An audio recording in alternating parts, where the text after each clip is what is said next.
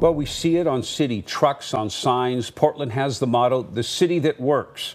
Now, in an effort to make the city's complicated permitting process more efficient, they're doing something. Yeah, 15% of staff at Portland's Bureau of Development Services, the announcement coming today, they will be laid off before the end of the year. Let's check in with Brandon Thompson here now, digging deeper into these cuts and why exactly they're happening. Yeah, it's really revenue problem, but the Bureau says they're still committed to those reforms despite losing some staff. A drop in construction activity in Portland, particularly commercial real estate projects, have led to the Bureau burning through its reserves at a rate that would have depleted those accounts by this time next year the state of construction in Portland. All of the folks we've talked with have said that we're expecting about an 18 month downturn in construction activity. 18 months on a growing trend. Nearly all of BDS's revenue comes from permitting fees. The value of commercial projects permitted in Portland hit a high of 2.3 billion in 2018. That's dropped to 1.5 billion today, the lowest point since 2014.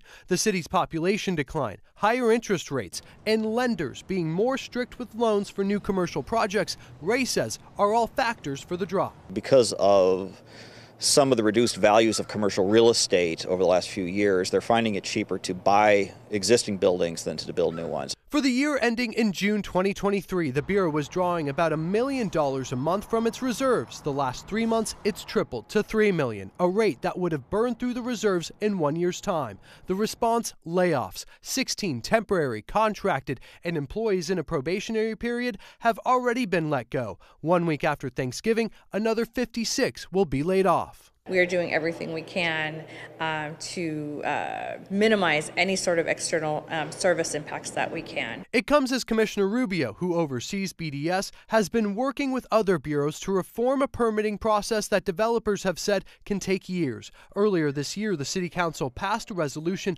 to combine the process from different bureaus, hoping for a more streamlined process. How will these layoffs affect that? Well, the permitting unification process that's been approved by City Council is still moving forward. And we're still committed to making that uh, process a success. It's something that we've been needing to do for decades.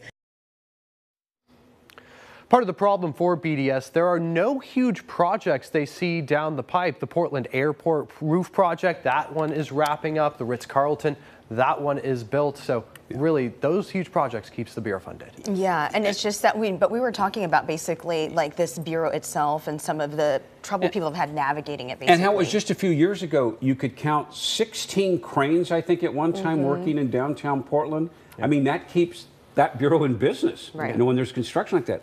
Look how fast things can change. Yeah, that peaked in 2018, and without those cranes, that's the revenue. Yeah, incredible. Brandon, thank you.